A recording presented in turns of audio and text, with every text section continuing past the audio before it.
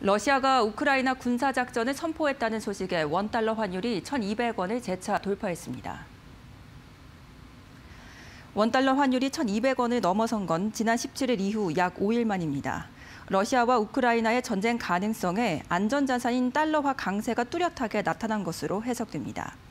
증권가에선 실제 전쟁이 발생할 경우 아주 큰 위험 회피 현상이 나타나면서 환율이 1,300원을 넘어 1,500원까지 치솟을 수 있다고 전망했습니다.